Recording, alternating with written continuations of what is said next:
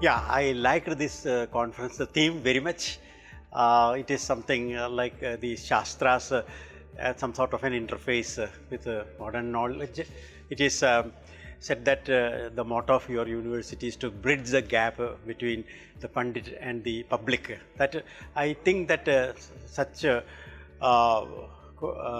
conferences will promote this type of exchange of ideas uh, and there could also be some sort of a some sort of uh, a dialogue between uh, traditional science scholars and modern professionals who are uh, pursuing their own fields in different walks of life.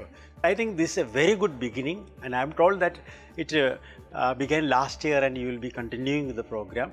So I hope that you will be able to uh, have it uh, in a more elaborate way with more and more scholars coming from even abroad.